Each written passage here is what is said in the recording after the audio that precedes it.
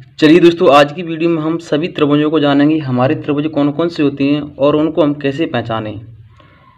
तो सबसे पहले हम जानेंगे समबाहु त्रिभुज, ये कौन सा होता है, इसको हम कैसे पहचानें। और इसके बाद हम जानेंगे समद्विबाहु त्रिभुज के बारे में विषमबाहु त्रिभुज के बारे में, न्यून कोण त्रिभुज कौन सा होता है, समकोण त्रिभुज कौन सा होता है, और अधिक कोण कौन सा होता है। तो सभी त्रिभुजों को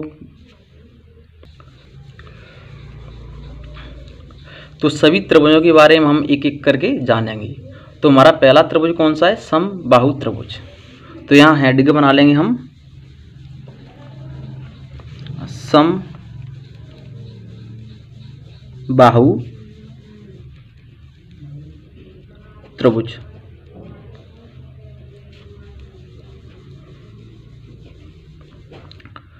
तो दोस्तों, सबसे पहले मैं समबाहु त्रिभुज बना लेता हूँ। तो दोस्तों, जो हमारा समबाहु त्रिभुज होता है, इसके सभी कोण समान होते हैं। जैसे इसका कोण ये टीटा है तो ये कोण भी टीटा है और ये कोण भी टीटा है। इसकी जो सभी भुजाएँ कैसी हैं, समान होती हैं, सभी बराबर होती हैं। तो यहाँ थीटा कितने हैं? एक, दो, तीन। तो तीन थीटा। सभी कोणों का मान कितना होता है?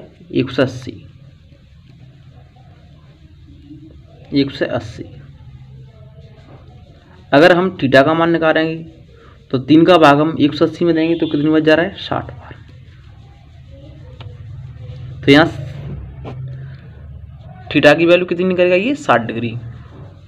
तो जो हमारा संभव त्रिभुज होता है, इसमें कोण कितनी डिग्री का होता है? साठ डिग्री का होता है। और इसकी सभी भुजाएँ समान भुजाएँ होती हैं।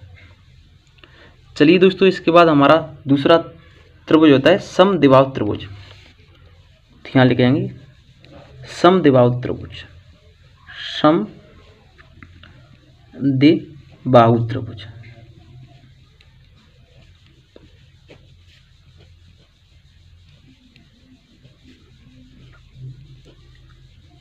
तो सबसे पहले मैं समबाहु त्रिभुज का चित्र बना लेता हूँ। तो इस त्रिभुज को हम नाम दे देंगे ए, बी और सी। जो हमारा समद्विबाहु त्रिभुज होता है, इसकी दो बजाएँ समान होती हैं। ए भी हो सकती है, ए सी हो सकती हैं, इसकी दो बजाएँ कोई दो बजाएँ इसकी समान होती हैं। तो इसकी हम दो इन बजाओं को समान मान लेते हैं। और इनके कोण भी कैसे होते हैं? समान। तो यहाँ कोण क्या रहेगा? थीटा। और यहाँ कोण क्या रहेगा? थीटा। तो ए बी बराबर ए सी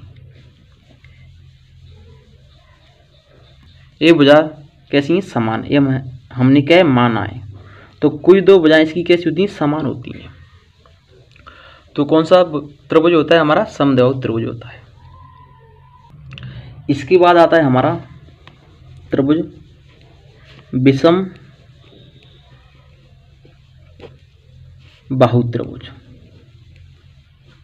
विषम बाहु त्रिभुज। तो इसके बारे में जान लेते हैं हमारा विषम बाहु त्रिभुज कौन सा होता है। तो सबसे पहले त्रिभुज बना लेते हैं। तो दोस्तों, जो हमारा विषम बाहु त्रिभुज होता है, इसकी सभी भुजाएँ अलग अलग होती हैं। ए तो ये बी, ये हमारी कौन सी होती सी। यहाँ कौन क्या बनेगा? अल्पा तो यहाँ कौन क्या मान लेंगे हम? बीटा। यहाँ कौन क्या मान लेंगे? गामा। तीनों कोण हमारे कैसे कैसे होते हैं अलग अलग होते हैं। तो विषम बहु त्रिभुज में हमारी सभी भुजाएँ कैसी होती हैं? अलग अलग होती हैं और सभी के कोण अलग अलग होते हैं। इसके बाद हमारा त्रिभुज आता है, नील कोण त्रिभुज। न्यून कोण त्रिभुज।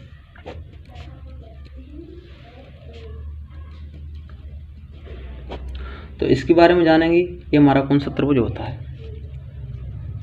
तो पहले हम त्रिभुज बना लेते हैं। तो दोस्तों, जो हमारा नील कोण होता है नील कोण त्रिभुज होता है, इसका कोण,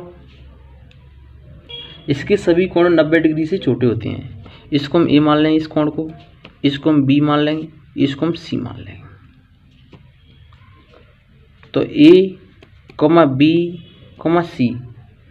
सभी कोण हमारे कैसे होते हैं, नब्बे डिग्री से छोटे होते हैं। तो इसके बाद हमारा त्रिभुज आता है, समकोण त्रिभुज। समकोण त्रिभुज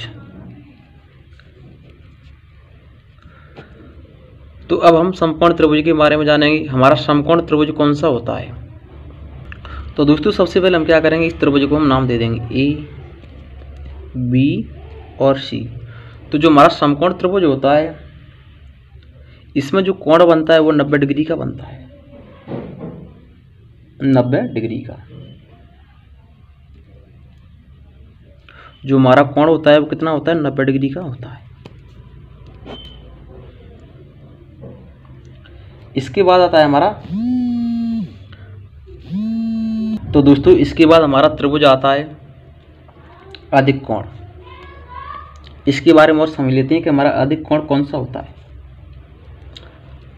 अधिक कोण त्रिभुज।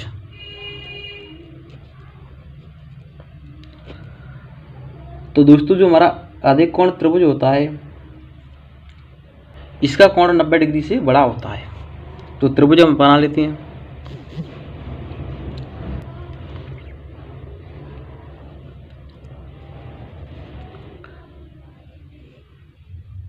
जिसका कोण होता है वो नब्बे डिग्री से कैसा होता है? बड़ा होता है। तो दोस्तों, ये हमारे सभी त्रिभुज होते हैं। तो अगर दोस्तों आपको हमारी वीडियो पसंद आए तो प्लीज़ वीडियो को लाइक करें। अगर आप हमारे चैनल पर नए हैं तो प्लीज़ चैनल को भी सब्सक्राइब करें। जय हिंद।